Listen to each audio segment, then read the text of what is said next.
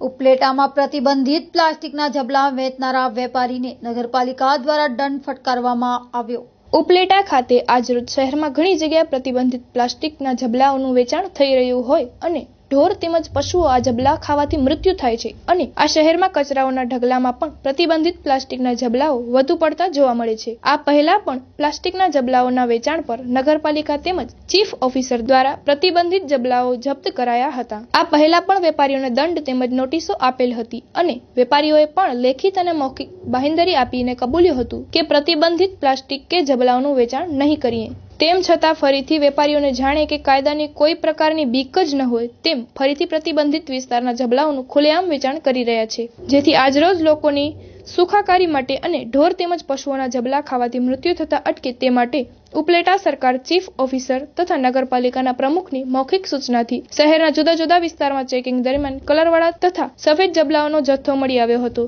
અંદાજે પચાસ કિલો પ્રતિબંધિત પ્લાસ્ટિકના જબલા કિંમત રૂપિયા સાત હજારનો માલ જપ્ત કરી નિયમ અનુસાર પાંચસો રૂપિયાનો દંડ કરીને આગળની કાર્યવાહી હાથ ધરવામાં આવી હતી, જેના લીધે ઉપલેટાના પ્લાસ્ટિકના જબલા વેચનાર વેપારીઓમાં ફફડાટ વ્યાપી ગયો હતો. નગરપાલિકા દ્વારા ચેતવણી આપવા છતાં પણ ઉપલેટાની અનેક દુકાનોમાં પ્લાસ્ટિકના જબલાઓનું વેચાણ થઈ રહ્યું હોય છે અને અનેકવાર જાણ કરવા છતાં વેપારીઓ પ્રતિબંધિત પ્લાસ્ટિકના જબલાઓ વેચાણ કરતા નજરે પડે છે. તો આગળ સખ્ત કાર્યવાહી કરવામાં આવશે અને વધુ દંડ વસૂલવામાં આવશે તેવું નગરપાલિકાએ જણાવ્યું હતું. તો શું કહે છે અશોકભાઈ ડેર?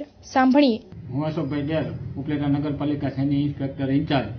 ઉપલેટા નગરપાલિકાના પ્લાસ્ટિક વેસ્ટ બાયોલોજી નિયમ મુજબ આજ રોજ ઉપલેટા શહેરમાં પ્લાસ્ટિક, પ્રતિબંધિત પ્લાસ્ટિક અંગેનું ચેકિંગ હાથ ધરતા રાજમાર્ગ ઉપર ફુલારા શોપિંગની અંદર આવેલ દલાલ એજન્સીમાં ચેકિંગ કરતા તેમાં પ્લાસ્ટિકના જબલા પ્રતિબંધિત માલુમ પડતા પ્લાસ્ટિકના જબલા અંદાજે ચાલીસથી પચાસ કિલો જેવા જપ્ત કરી તેઓને નિયમ મુજબ દંડ કરી અને પ્લાસ્ટિકના જબલા જપ્ત કરેલ છે.